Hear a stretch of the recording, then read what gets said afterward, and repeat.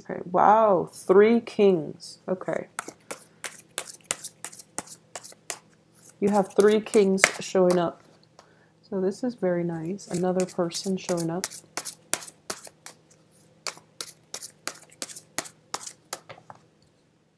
Okay, and you've got an extra card too. Okay, another person and the Ace of Wands, which I'm going to put here so that you can see it. All right, so let's go over this reading. So, Taurus, this is a month in which you're dealing with a lot of people. So, since a lot of people are showing up, I'm going to say that for those of you who have been in stable relationships, who have been in stable relationships, okay, I do feel that um, the stability is is going to continue. I do sense that with this spread. And what I'm sensing as well is um, for those of you who have been in a relationship with a fire sign, okay, I, I do sense your partner, and fire signs are um, Leo, Sagittarius, Aries. If you're thinking about a fire sign, if you are romantically linked up with a fire sign, um, if they have been kind of absent or if communication has been kind of shaky and sporadic between you and the fire sign, they're coming back in for this month and they're going to um, they're going to come in with a new outlook and a new way for to to be in your life okay? And it, it looks very positive to me. So if there has been troubles or if there has been you know uh, things have been stalled in in the process of getting together with this fire sign i definitely feel that the energy is allowing you here to have an opportunity for a major breakthrough in this relationship okay so that can be just in general for those of you who are interested in or are romantically linked up with a fire sign. On the work front, if you have been working with a fire sign and things have been stalled, there's definitely new ideas that is going to move this work partnership forward. So you don't have to worry. It, it looks very, very fruitful. So they're coming in with a new outlook in life, with a new way of communicating with you. And as a result of it, it would be in your best interest to give this another go or, or to give this another opportunity to um, to flourish. Okay, because it looks to me to be very, very fruitful. I do feel though that you are a little bit critical when they start coming back into the picture, okay, with the fire sign.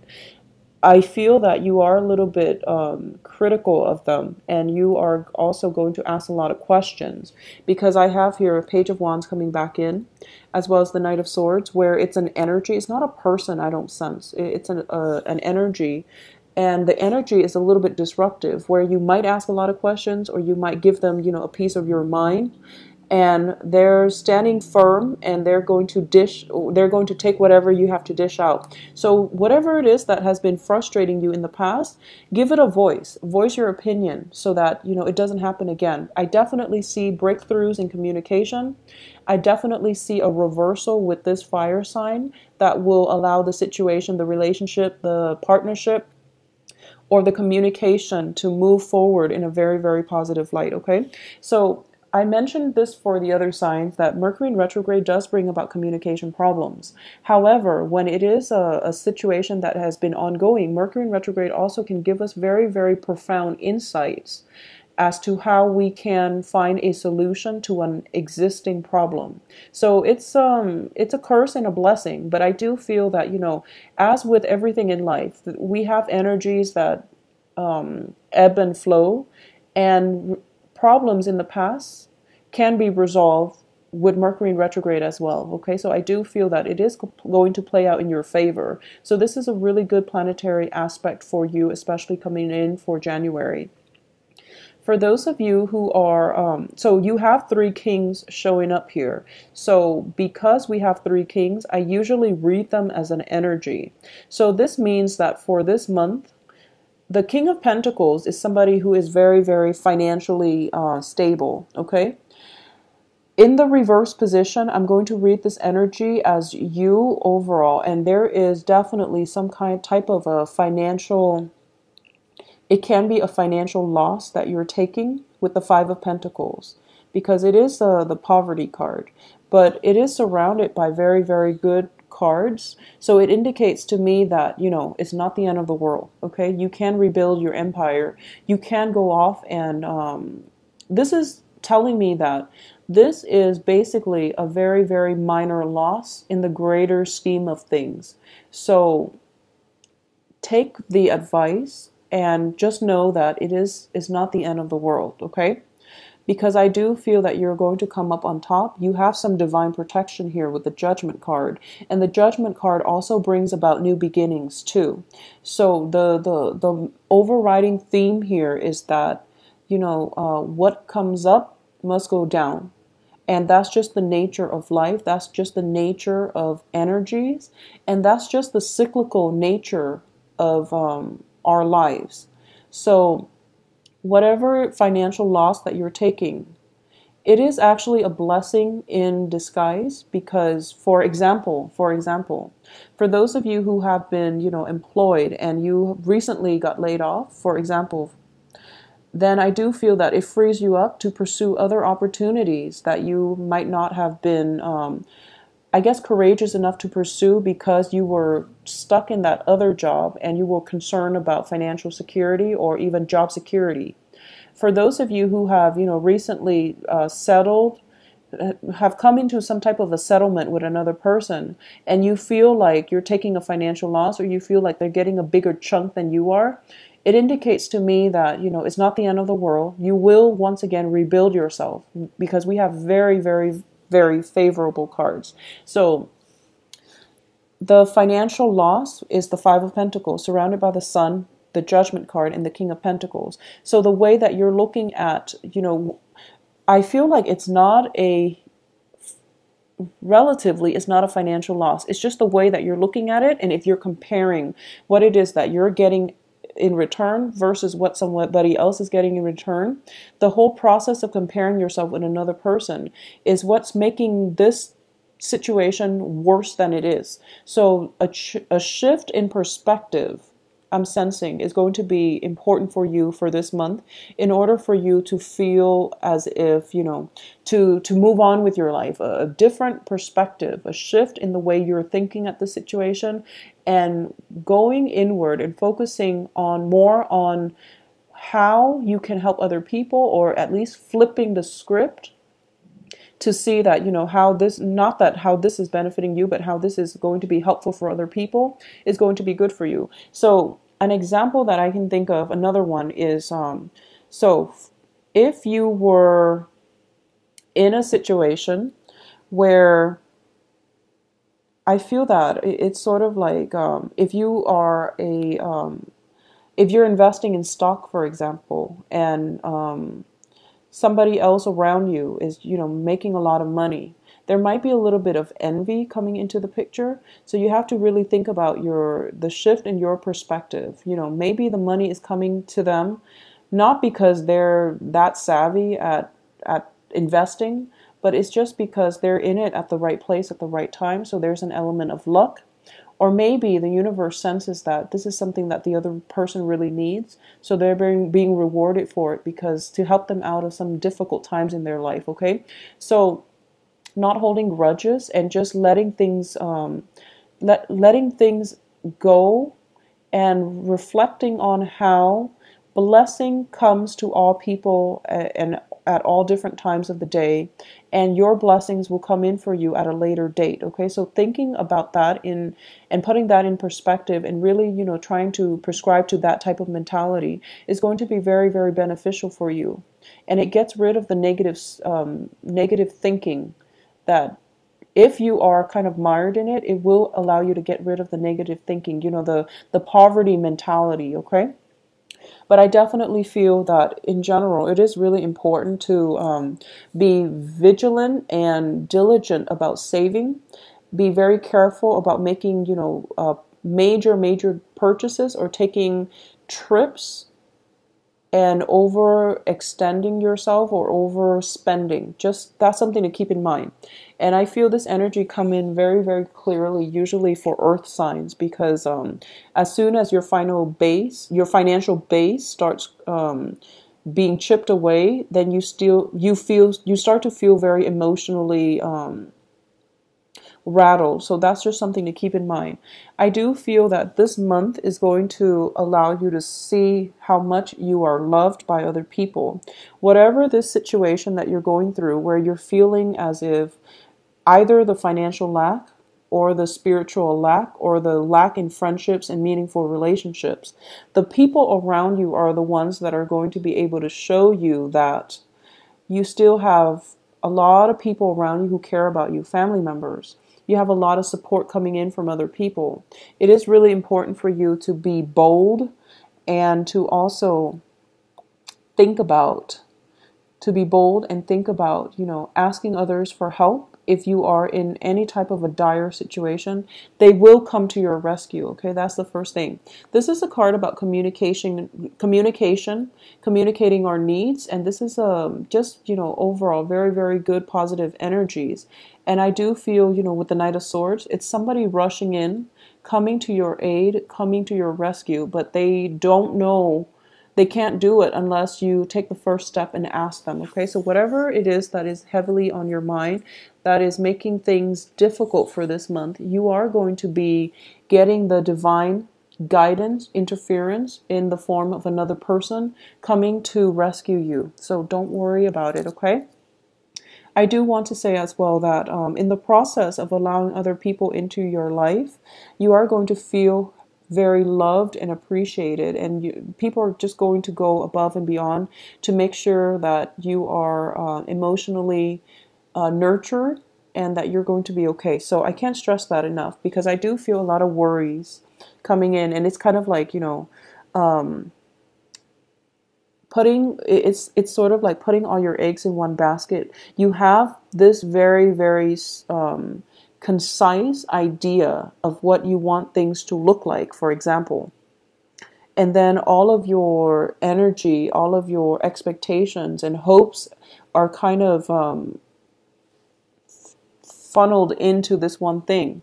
And if that one thing doesn't pan out, then you're just going through like worst case scenario. So it's kind of like this up and down energy when it comes to your emotional state.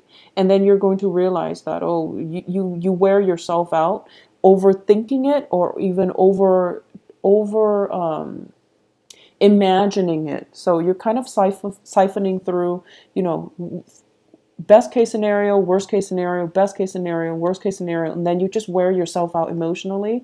And then you realize that, okay, it, it doesn't really matter. I'm going to be patient and diligent and just let things play out because overthinking it is really um, getting me really emotionally rattled. So that's the energy that you're bringing with you towards the second half of this month. I also feel as well, um, going back to, I, I'm just sensing that people are going to surprise you in amazing ways for this month, okay? People that have been flaky, that have been undependable, or unreliable, they are coming through and they're they're carrying their weight and they're helping you. And then people come out of the woodwork too, because we have this Knight of Swords. People coming out of the woodwork to help you at the very last minute. So either way, you have very, very strong divine protection. And um, it is really important for you to uh, not isolate yourself and live in your own bubble and to incorporate other people into your life because through your networks and your social connections, you're going to really thrive this month. It's funny because um, for the other signs, um, I'm sensing that they want to be alone and they should be alone. But for you, you have to incorporate other people into your life because through other people, you're going to find a lot of blessings, okay? People will bring you a lot of blessings and make you feel quite good about yourself. And they are bringing with them a lot of love and a lot of um, support, a lot of emotional support. So, for those of you who are in a romantic relationship with a, a water sign, well, j- let's just talk in general when it comes to your dating prospects. I do feel if you are in a position where you have to choose between fire and water signs, both of these look positive. I feel that there might be a new water sign, Pisces, Cancer, Scorpio coming through for those of you. It can be male or female depending on what your sexual orientation is and you know whatever gender you're dating. But I definitely feel a very solid um, person who is showing a lot of interest. But I do feel that I feel like it's a new water sign, okay? It's a new person. It's somebody who is very emotionally stable.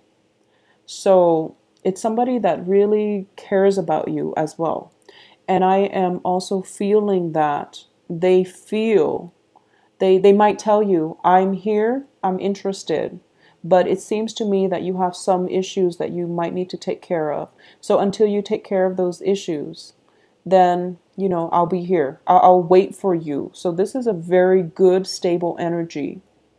Okay, if for those of you who are deciding between a fire sign and a water sign, I do sense that for a lot of you, you know on an intuitive level that this water sign is a better match for you. And you feel that you know they love you a great deal and you understand that they love you a great deal.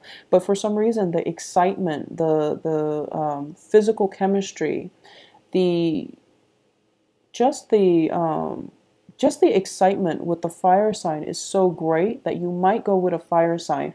And you know, the fire sign, they both look very stable to me. It's just you have a history with the fire sign, and the water sign is coming through with new energies.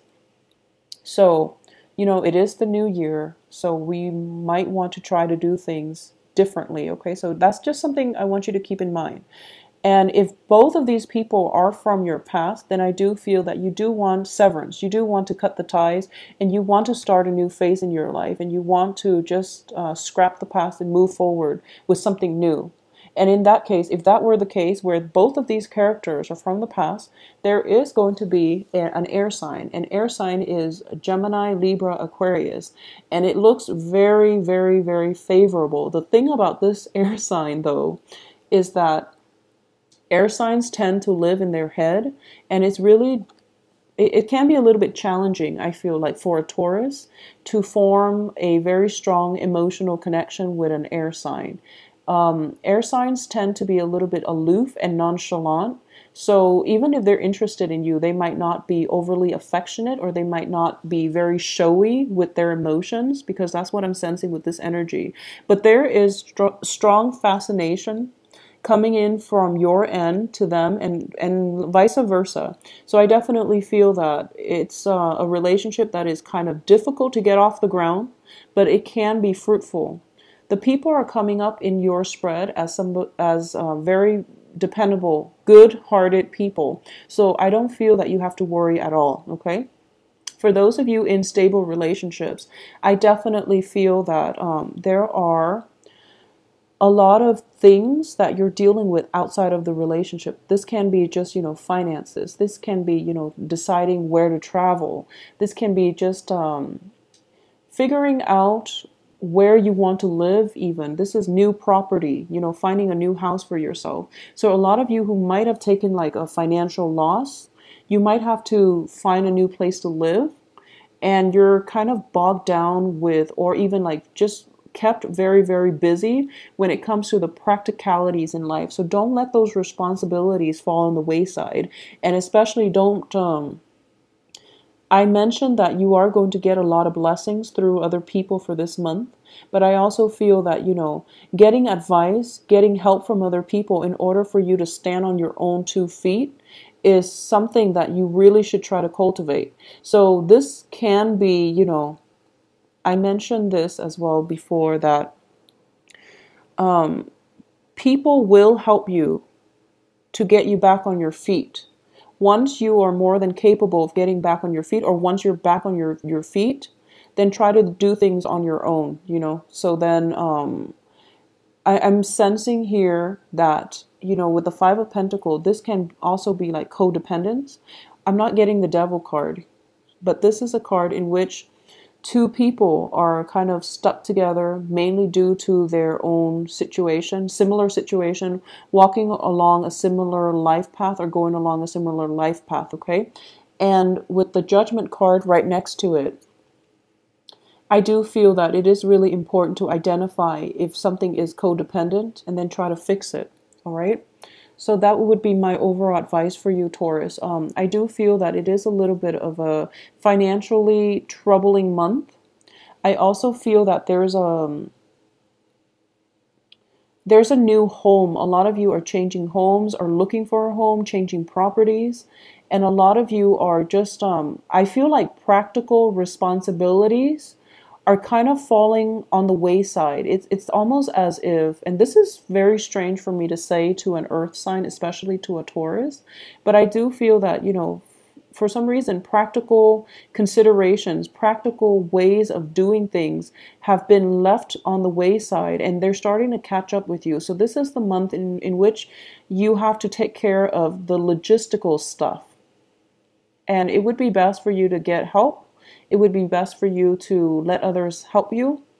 And for some reason as well, there are a lot of people here, and you might just have, you know, you might just be traveling, bouncing from place to place in order to see other people. And you might just feel, which can be a financial drain for you, by the way, with the King of Pentacles here as your energy. And you might not feel like you have adequate time alone. You're feeling quite happy, quite emotionally fulfilled, but I feel like you need alone time. Okay, so some alone time is uh, you want the alone time, but you're not getting it. But I do feel other people coming in to help you is going to be very beneficial for you. So either way, it is going to be a good month. A little bit of a financially um, troubling month, but I do sense that if you are to, uh, if you've foreseen this, if you've foreseen these unex- um, unanticipated expenditures, or for some reason if you've anticipated this, you're going to be able to shoulder it just fine. But allow other people to help you and ask for help as well. All right. The new home environment looks very stable, so I definitely feel that um, for those of you who have major, who have just you know gone through a relocation or something like that, I definitely feel the new environment is going to bring in new relationships, new beginnings for you that will prove to be very, very fruitful for you in the future. So it's going to bring a, with it a lot of success as well. So don't worry, okay, Taurus.